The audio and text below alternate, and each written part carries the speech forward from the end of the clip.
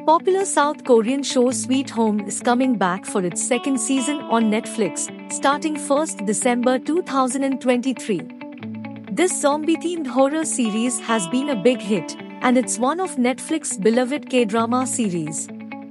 It was even renewed for a third season. The first season of Sweet Home debuted globally on Netflix in December 2020 and was based on a popular webtoon. The second season is expected to take the story in new directions, featuring a fresh cast of characters and creatures in a more dangerous setting.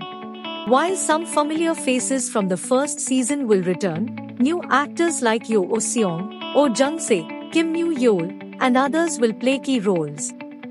Netflix has also released a teaser and a poster for the upcoming season, showing the survivors struggle against turning into monsters and facing groups of terrifying creatures. Thanks for watching and do subscribe our channel for more updates.